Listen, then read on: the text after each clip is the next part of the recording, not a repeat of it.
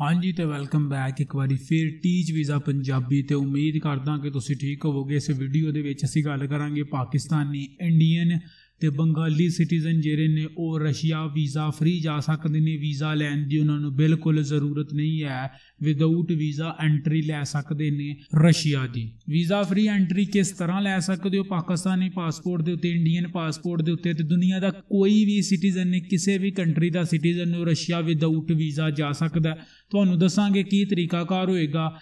ਕੀ ਵਜ੍ਹਾ ਹੈ ਕਿ ਜਿਹਨੇ ਰਸ਼ੀਆ ਨੇ ਪੂਰੀ ਦੁਨੀਆ ਵਾਸਤੇ ਆਪਣਾ ਵੀਜ਼ਾ ਜਿਹੜਾ ਉਹ ਫ੍ਰੀ ਕਰ ਦਿੱਤਾ ਇਸ ਵੀਡੀਓ 'ਚ ਤੁਹਾਨੂੰ ਦੱਸਾਂਗੇ ਵੀਡੀਓ ਨੂੰ ਅੰਤ ਤੱਕ ਨਾ ਜ਼ਰੂਰ ਤੱਕਿਓ। ਨਵੇਂ ਉਹ ਚੈਨਲ ਟੀਚ ਵੀਜ਼ਾ ਪੰਜਾਬੀ ਤੇ ਤੈਨੂੰ ਸਬਸਕ੍ਰਾਈਬ ਕਰੋ। ਕੋਈ ਵੀ ਸਵਾਲ ਹੈ ਤੁਹਾਡਾ, ਤੁਸੀਂ ਥੱਲੇ ਕਮੈਂਟ ਬਾਕਸ ਦੇ ਵਿੱਚ ਪੁੱਛ ਸਕਦੇ ਹੋ।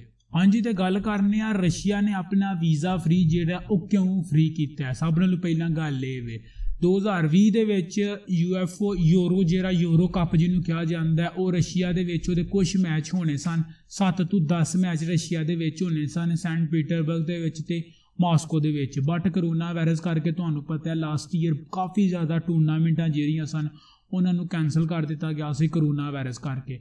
ਬਟ ਹੁਣ 2021 ਦੇ ਵਿੱਚ ਉਹਨਾਂ ਐਲਾਨ ਕੀਤਾ ਹੈ ਕਿ 12 ਜੂਨ ਤੋਂ ਲੈ ਕੇ 2 ਜੁਲਾਈ ਦੇ ਵਿੱਚ ਵਿੱਚ ਇਹ ਜਿਹੜੇ ਮੈਚ ਨੇ, ਇਹ ਖੇਡੇ ਜਾਣਗੇ ਰਸ਼ੀਆ ਦੇ ਸਿਟੀ ਸੈਂਟ ਪੀਟਰਬਰਗ। ਇਹ ਜਿਹੜੇ ਮੈਚ ਹੋਣਗੇ, ਇਹ 7 ਜਾਂ 8 ਮੈਚ ਹੋਣਗੇ ਜਿਹੜੇ ਰਸ਼ੀਆ ਦੇ ਸਿਟੀ, ਇੱਕੋ ਹੀ ਸਿਟੀ ਦੇ ਵਿੱਚ ਖੇਡੇ ਜਾਣਗੇ ਸੈਂਟ ਪੀਟਰਬਰਗ ਦੇ ਵਿੱਚ। 2020 ਦੇ ਵਿੱਚ ਪਹਿਲਾਂ ਜਿਹੜੇ 7 ਮੈਚ ਸਨ, ਇਟਲੀ ਦੇ ਵੱਖ-ਵੱਖ ਸਿਟੀਜ਼ ਦੇ ਵਿੱਚ ਹੋਣੇ ਸਨ। ਪਰ ਕਰੋਨਾ ਵਾਇਰਸ ਕਰਕੇ ਇਹ ਜਿਹੜਾ ਟੂਰਨਾਮੈਂਟ ਹੈ, ਸਿਰਫ ਇੱਕੋ ਹੀ ਸਿਟੀ ਦੇ ਵਿੱਚ ਰੱਖਿਆ ਗਿਆ ਆਵੇ ਤੁਹਾਡੇ ਵਿੱਚ ਕੋਈ ਵੀ ਬੰਦਾ ਰਸ਼ੀਆ ਜਾਣਾ ਚਾਹੁੰਦਾ ਹੈ ਤੇ ਇਹਨਾਂ ਮੈਚਾਂ ਦੀ ਟਿਕਟ ਲੈ ਕੇ ਫੈਨ ਆਈਡੀ ਅਪਲਾਈ ਕਰਕੇ ਤੇ ਤੁਸੀਂ ਰਸ਼ੀਆ ਜਾ ਸਕਦੇ ਹੋ। ਫੈਨ ਆਈਡੀ ਕਿੰਦ ਅਪਲਾਈ ਕਰਨੀ ਉਸ ਮੈਂ ਇੱਕ ਵੀਡੀਓ ਬਣਾਵਾਂਗਾ। ਇੱਕ ਹਫ਼ਤੇ ਦੇ ਵਿੱਚ ਵਿੱਚ ਵੀਡੀਓ ਬਣਾ ਦੇਵਾਂਗਾ ਤੇ ਇਸ ਚੈਨਲ ਟੀਚ ਵਿਦਾ ਪੰਜਾਬੀ ਤੇ ਅਪਲੋਡ ਕਰ ਦਿਆਂਗਾ।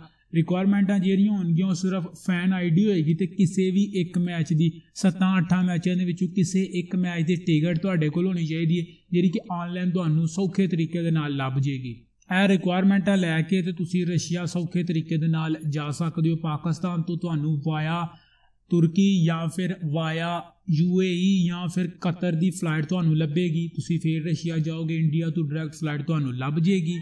ਉਸ ਤੋਂ ਇਲਾਵਾ ਇੱਕ ਸਭ ਨਾਲੋਂ ਇੰਪੋਰਟੈਂਟ ਇਨਫੋਰਮੇਸ਼ਨ ਇਹ ਵੇ ਕਿ ਤੁਸੀਂ ਕੋਈ ਵੀ ਟੂਰਨਾਮੈਂਟ ਵੇਖਣ ਜਾਣਦੇ ਹੋ ਕਿਸੇ ਵੀ ਕੰਟਰੀ ਤੋਂ ਦੂਸਰੇ ਕੰਟਰੀ ਜਾਂ ਫਿਰ ਤੁਸੀਂ ਟਰੈਵਲ ਕਰਨ ਜਾਣਦੇ ਹੋ, ਕੋਈ ਵੀ ਕੰਟਰੀ ਵਿਜ਼ਿਟ ਵੀਜ਼ਾ ਲੈ ਕੇ ਟੂਰਿਸਟ ਵੀਜ਼ਾ ਲੈ ਕੇ, ਤੁਹਾਡੇ ਕੋਲ ਸ਼ੋ ਮਨੀ ਹੋਣੀ ਚਾਹੀਦੀ ਹੈ ਲਾਈਕ ਮੈਂ ਇੱਕ ਅੰਦਾਜ਼ੇ ਨਾਲ ਗੱਲ ਕਰਾਂ, ਕਿਸੇ ਵੀ ਤੁਸੀਂ ਸਿਟੀਜ਼ ਦੇ ਵਿੱਚ ਜਾਂਦੇ ਹੋ, ਕਿਸੇ ਵੀ ਕੰਟਰੀ ਦੇ ਵਿੱਚ ਤੁਸੀਂ ਜਾਂਦੇ ਹੋ, ਤੁਹਾਡੇ ਕੋਲ ਇੱਕ ਦਿਨ ਦੇ ਹਿਸਾਬ ਦੇ ਨਾਲ ਘੱਟੋ ਘੱਟ 100 ਡਾਲਰ ਹੋਣਾ ਚਾਹੀਦਾ ਇੱਕ ਦਿਨ ਦੇ ਹਿਸਾਬ ਦੇ ਨਾਲ 100 ਡਾਲਰ।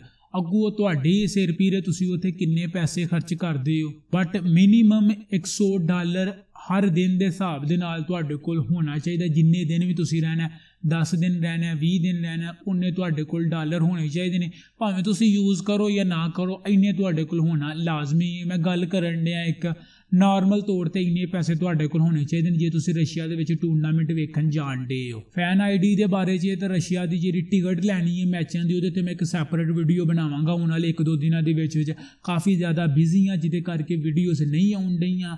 ਜਦੋਂ ਹੀ ਮੈਂ ਫ੍ਰੀ ਹੁੰਨਾ ਇੱਕ ਦੋ ਦਿਨਾਂ ਦੇ ਵਿੱਚ ਵਿੱਚ ਕੋਸ਼ਿਸ਼ ਕਰਾਂਗਾ ਕਿ ਟੋਟਲੀ ਆਪਣੇ ਕੰਮ ਮੁਕਾ ਕੇ ਤੇ ਵੀਡੀਓਜ਼ ਅਪਲੋਡ ਕਰਾਂ, ਦੋਵੇਂ ਹੀ ਵੀਡੀਓ ਤੇ ਜ਼ਰੂਰ ਅਪਲੋਡ ਕਰਾਂਗਾ, ਕੋਸ਼ਿਸ਼ ਕਰਾਂਗਾ ਟਰਾਈ ਕਰਾਂਗਾ ਕਿ ਇੱਕ ਦੋ ਦਿਨਾਂ ਦੇ ਵਿੱਚ ਵਿੱਚ ਆਪਣੇ ਕੰਮ ਕਾ ਕੇ ਤੇ ਤੁਹਾਡੇ ਲਈ ਇੱਕ ਵੀਡੀਓ ਬਣਾਵਾਂ ਸੈਪਰੇਟ ਜੇ ਜੇ ਤੁਹਾਨੂੰ ਸਾਰੀ ਦੀ ਸਾਰੀ ਇਨਫੋਰਮੇਸ਼ਨ ਦਿੱਤੀ ਜਾਏ। ਰਸ਼ੀਆ ਦੀ ਫੈਨ ਆਈਡੀ ਅਪਲਾਈ ਕਰਨ ਵਾਸਤੇ ਨਾਲ ਦੀ ਨਾਲ ਹੀ ਰਸ਼ੀਆ ਦੇ ਕਿਸੇ ਇੱਕ ਮੈਚ ਦੀ ਟਿਕਟ ਵੀ ਅਸੀਂ ਲੈ ਕੇ ਤੁਹਾਨੂੰ ਦੱਸਾਂਗੇ ਕਿ ਕਿੰਜੀ ਟਿਕਟ ਅਪਲਾਈ ਕੀਤੀ ਜਾਂਦੀ ਹੈ। ਹਾਂਜੀ, ਤੇ ਮਿੱਤਰੋ, ਉਮੀਦ ਕਰਦਾ ਕਿ ਤੁਹਾਨੂੰ ਵੀਡੀਓ ਪਸੰਦ ਆਈ ਹੋਵੇਗੀ ਵੀਡੀਓ ਪਸੰਦ ਆਈ ਤੇ ਵੀਡੀਓ ਨੂੰ ਵੱਧ ਤੋਂ ਵੱਧ ਸ਼ੇਅਰ ਕਰਿਓ। ਨਵੇਂ ਉਹ ਚੈਨਲ ਟੀਚ ਵੀਜ਼ਾ ਪੰਜਾਬੀ ਤੇ ਤੇ ਇਹਨੂੰ ਸਬਸਕ੍ਰਾਈਬ ਕਰੋ। ਮਿਲਦੇ ਹਾਂ ਤੁਹਾਨੂੰ ਨੈਕਸਟ ਵੀਡੀਓ ਤੇ। ਉਦੋਂ ਤੱਕ ਰੱਬ ਰਾਖਾ।